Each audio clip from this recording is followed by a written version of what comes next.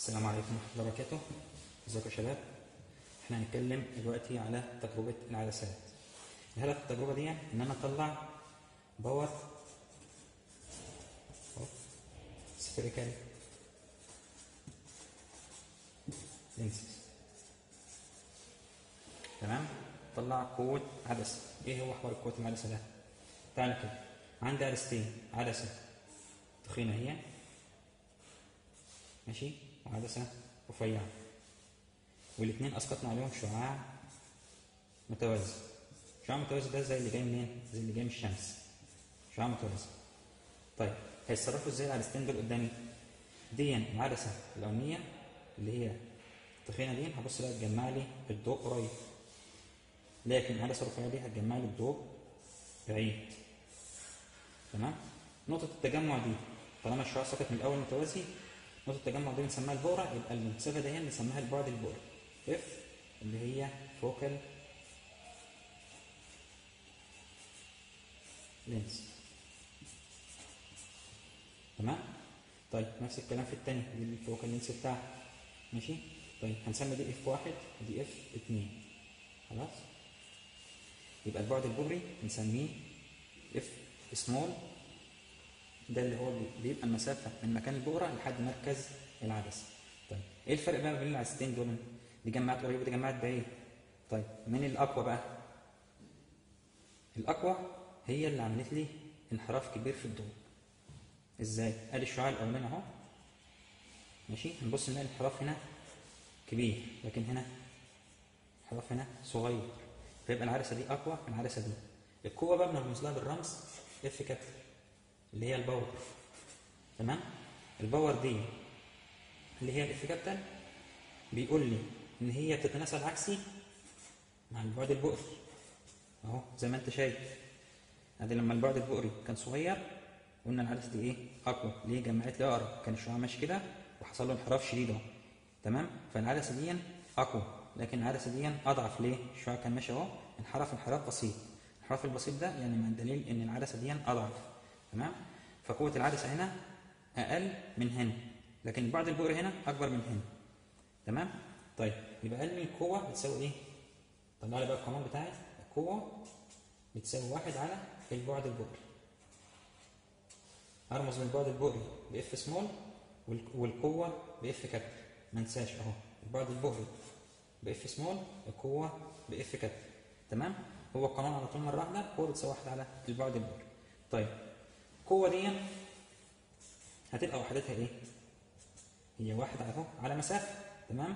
واحد على مسافة واحد على البؤر البعد البؤري طيب يبقى القوة بتاعتي القانون الوحدة بتاعتها هتبقى متر في سالب واحد أو دلتا أو diopter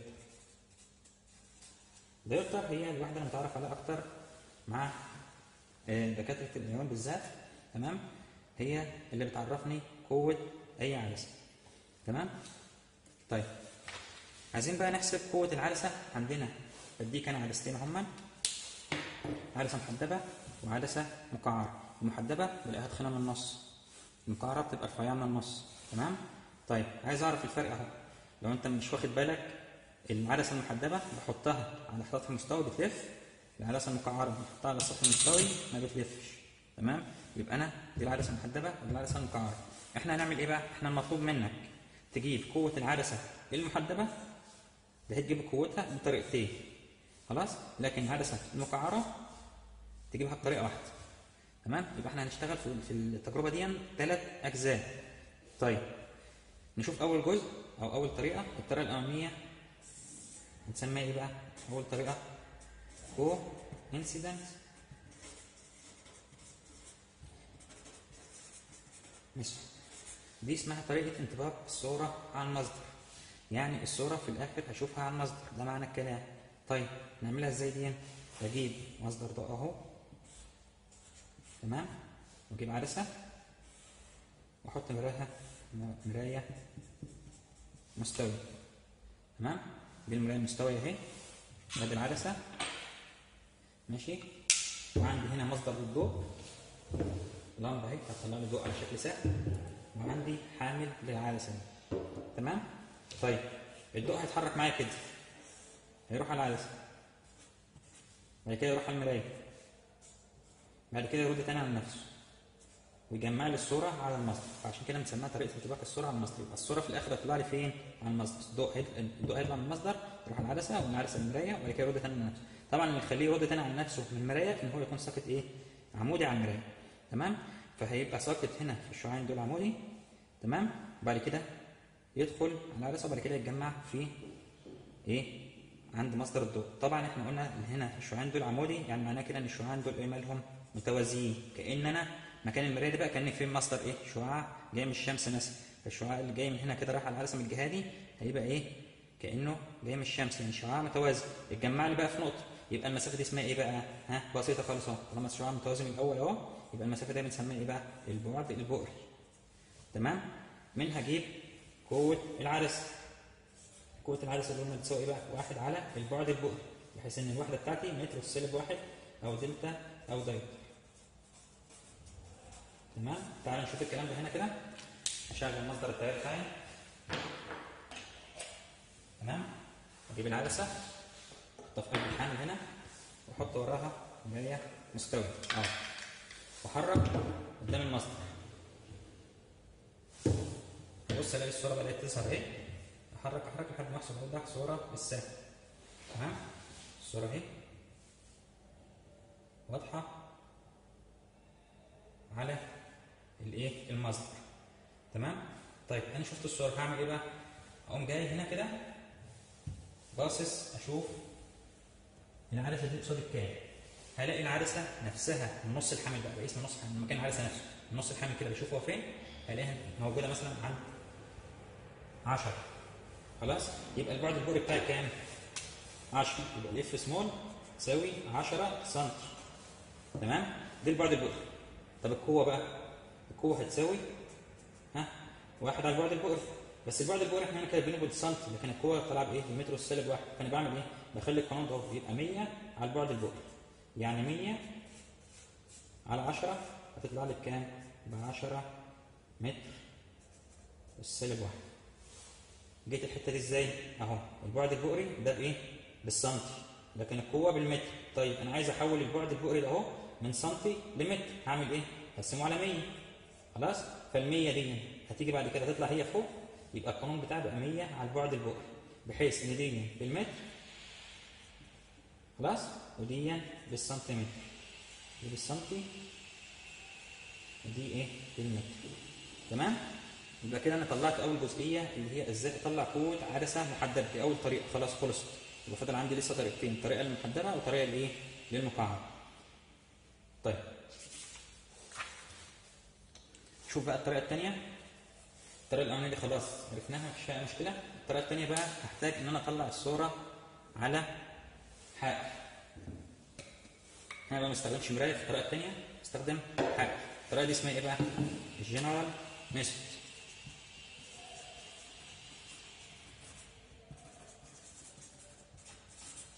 طريقة الطريقة العامة. الطريقة العامة طالما انت سمعت الطريقة العامة ديت هتعرف ان انت هتطلع الصورة مش على المصدر هتطلعه على حائط تمام؟ طيب نظامها إزاي؟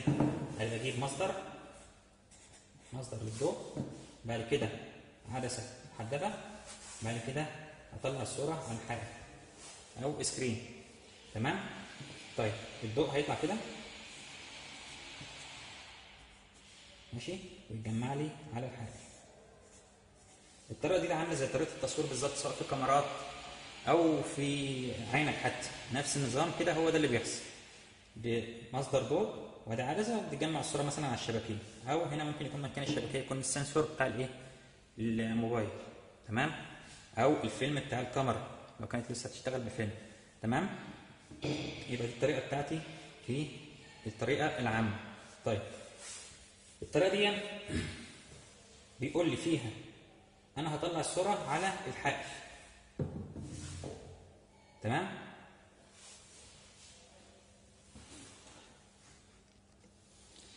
عكسنا الاتجاهات بتاعت العدسه بحيث إن إحنا نقدر نشوف السهم. طيب ادي بحط المصدر اهو خلاص؟ وادي العدسه بتاعتي. هطلع بقى الصورة على الحائل ده. تمام؟ لو أنا حطيتها بالظبط عند العشرة اللي هي البعد البؤري اللي إحنا اتكلمنا عليه في الأول مش هتعرف مش هعرف أطلع الصورة. آه الصورة مش هتجمع سهم في الآخر. طيب يبقى هو قال لي في شرط إن أنا عشان الصورة تطلع لي على الحائط قال لي في شرط. قال لي الشرط إيه بقى؟ إن الإس أو المصدر الضوئي اللي هي المسافة دي بسميها إكس. المسافة دهيا بسميها Y. ده أول حاجة اهو يبقى دي المسافة دي اسمها X ودي اسمها Y. إزاي؟ أهو. المصدر للقطعة الضوئية X القطعة الضوئية الحائط تمام؟ قال لي المسافة بقى من مصدر القطعه الضوئية دي لازم تكون أبعد من العشرة اللي أنت جبتها في الأول اللي هي البعد البؤري. يعني أنت كنت جايب البعد البؤري بيساوي 10 خلاص؟ يبقى ال X ده هي شرط إن هي تكون إيه؟ أكبر من البعد البؤري عشان تدينا صورة على الايه الحائل نفسه تمام؟ يبقى أنا هجيب العدسه دي أحطها مثلا وليكن عند بعد وليكن 15 تمام؟ بعد كده أطلع أدور على أوضح صورة للسهم حصلت على أوضح صورة. يبقى كده دي المسافة دي x أهي خدها حطها في بالك على طول من مصدر القطعة الضوئية دي x القطعة الضوئية دي الحائل دي اسمها y. بعمل لها جدول كده. خلاص؟ بكتب هنا x وهنا y x small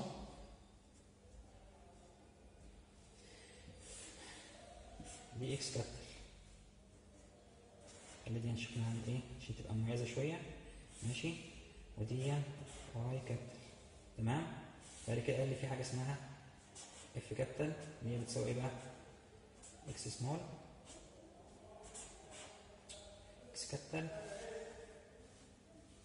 زائد y capital نركز في الحتة دي. أهو إحنا دايما بنعمل القوة x capital زائد ال y capital ما نلخبطش بقى. في ناس ساعات بتقوم رايحة عاملة إيه جمع ال x small وال y small لا مش هم دول الأساس. اللي هو أنت هتحسبه هنا ده الأساس. طيب إكس سمول هي المسافة من المصدر المصدر للقطعة الضوئية. تمام؟ ومن القطعة الضوئية للحائل دي اسمها إيه؟ y. طب تعالى نحسبها كده. أنا ظبطت المسافة x ب 15 طلعت المسافة دي هي دي y. تمام؟ خلي دي كانت عند الصفر أهو. مظبطها بالظبط عند بدايه المسطرة ودي طبعا عند 15 وهنا الحائل طلع لي مثلا عند 51 تمام؟ يبقى الفرق هنا قد إيه؟ 36 يقوم كاتب هنا 36 تمام؟ اللي هو الحتة دي اللي هي 51 ناقص ال 15 تمام؟ طيب يبقى أنا كده عملت ال x وعملت الإيه؟ ال y. هنا كتبت إكس سمول ب 15 وبعد كده ال y ب 36 هبدأ أزود بقى واحدة واحدة في ال x وأطلع خمس قراءات. أهو خلي ده 20 مثلا. ماشي؟ وأبدأ أدور على قيمه ال y. تمام؟ طلعت لي 41 يبقى ال x بكام؟ ب 20 ال y بقى بكام؟ 41 هي الوقت عند 41 بالظبط اهي ناقص ال 20 بكام دي؟ ب 21 تمام؟ يبقى أنا عرفت أهو بلاقي إن ال x بتزيد معايا ال y قاعدة تقل معايا أزود كمان خمسة خلاص؟ أدور على قيمه ال y ماشي؟ ألاقيها مثلا كانت عندي 43 اهي تمام؟ لكن ال x بكام دلوقتي لما زودت 5 يبقى 25 وال y طلع لي كام؟ 43 43 مش مش هكتب 43 دي مش ال y. لازم أطرح أهو. ما انساش إن أنا هنا في ال y لازم طرح أهو. خلاص؟ اللي هي الحتة دي. لازم أجيب الحتة دي. يعني في طرح. طيب اللي قلنا دي عند 25 أهو. ودي عند كام؟ 43 43 بقى ناقص 15 بكام؟ ب 18 يبقى هكتب عندي الناتج بتاعي 18 يبقى أنا لقيت ال x بتزيد أهي ال y بتقل تمام؟ طيب. هعمل بعد كده بجيب حاجة اسمها x capital اللي هي بتساوي بقى إيه؟ 100 على إكس سمول 100 على 15 مش 15 على 100 ما تكتبليش 15 من 100 خلاص؟ يعني 100 على 15 يطلع لي 6 وشوية. 6 وكسور كده 6 مثلا 2 10 خلاص؟ 100 على ال 20 يطلع ب 5 هكذا. 100 على 25 ب 4 وهكذا. تمام؟ هعمل نفس الكلام في ال y. 100 على 36 و100 على 21 و100 على إيه؟ وهكذا. يبقى 100 على واي سمول تمام؟ بعد كده بحسب F capital اللي هي بتساوي x capital زائد y capital. أشوف الرقم اللي هنا زائد الرقم ده زائد ده. هيطلع لي بكام؟ القيمة بتاعته هتطلع قريبة من رقم 10 اللي هي قيمه القوه القوه اللي كانت في الجزء الأولاني القوة نفسها مش البعد البؤري ده بعد بؤري إنس ده ده بعد بؤري f small لا أنا بتكلم عن اللي هي قوة متر والسالب واحد. لأن الناتج هنا المفروض ده قيمته بمتر والسالب واحد هنا. طيب هتطلع قيمته كام؟ مثلا 10 10 ونص. 9 ونص. ملهاش ترتيب تطلع زي ما تطلع. هعمل الكلام ده كام مرة بقى؟ خمس مرات. فأنا هعمل 15 20 25 30 35 ثبتوا على الأرقام دي. لما تيجي تشتغل في الامتحان هتعمل الأرقام دي. 15 20 25 30 35 تمام؟ هلاقي ال x تزيد لما أكون بزود ال x ال y إيه؟ هتقل قصادي. تمام؟ هحسب بقى ال F capital دي هحسبها هتطلع لي طبعا بخمس قراءات مثلا 9 ونص تاني 10 تاني. ماشي؟ هعمل إيه بقى؟ بحسب حاجة اسمها F average F average اللي هي بتساوي إيه؟ مجموع كل دول على عدد. هما كام واحدة؟ أدي 1 2 3 4 5 خمس قراءات. يبقى هجمعهم. هنزل كل دول اجمعهم ماشي؟ واقسمهم على خمسه وأطلع الناتج بتاعي في المتر. والسالب واحد. دي قوة العدسة المحدبة بطريقة ثانية أطلع طبعا الرقم قريب من الرقم إيه 10 اللي أنت كنت جايبه قبل كده. يعني مثلا تلاقي 9 ونص مثلا. خلاص؟ فدي الفرق من دي حاجة بسيطة. فما بتفرقش فيبقى أنت كده شغال صح. تمام؟ يبقى كده عرفنا الطريقة الثانية اللي هي الطريقة العامة. طيب. كده إحنا عملنا الجزئين بتوع العدسة المحدده نعمل بقى العدسة المقعره العدسة المقعره اهي دي لوحدها عمرها ما تطلع لي صوره خلاص؟ دي لوحدها مش هعرف اطلع بقى صوره لا على الحائل ولا على الايه؟ على المصدر. طيب هعمل إيه بقى؟ ما بحطهاش لوحدها بحط معاها كمان عدسه محدبة بحيث إن العدسه المحدبة هتبقى أقوى من العدسه المقعرة. تمام؟ قيمتها تبقى أكبر من من قيمه إيه؟ العدسه المقعرة. بحيث إن الناتج بتاعي يطلع تجميع مش تفريق. ليه؟ إحنا قلنا دي بتفرق فقيمتها هتطلع معايا بالسالب. خلاص؟ ودي قيمتها بالموجب تمام؟ عشان يطلع صورة من الاثنين على بعض عشان أقدر أطلع بهم صورة على الحائل أو على المصدر لازم أن يكون الاثنين قيمتهم بالموجب مجموعهم التوتال بتاعهم بيطلع بإيه؟ بالموجب تمام؟ هحط الاثنين مع بعض في الحامل وأجيب معاهم مراية. وأعمل أول طريقة خالص عملناها. طيب نلف كده المرايات. نعمل بقى الجزء الثالث أو الطريقة الثالثه قلنا هجيب العدستين مع بعض. ماشي؟ واحطهم في قلب الحامل. خلاص؟ مش هتفرق كتير. حطيت العدسة المحدبه قدام ولا المقعره مش هتفرق قوي. تمام؟ فأنت إيه؟ حط مثلا خليها العدسة المحدبه قدام. هي مش هتفرق عامة. تمام؟ يبقى كده الطريقة دي اسمها إيه بقى؟ الطريقة دي اسمها group method الطريقة بتاعت المجموعة. تمام؟ المجموعة اللي هي مكونة من عدسة محدبة وعدسة مقعره طيب وعندي مرايه مستوي تمام؟ هعمل إيه بقى؟ هعمل شبه الطريقة الأولانية خالص. أهو حطيت مصدر ضوء. وأدي عدسه محدبه وأدي عدسه مقعره تمام؟ وأحط مراية. تمام؟ الضوء هيروح على الاثنين بعد كده يروح على المراية. بعد كده يرد تاني على نفسه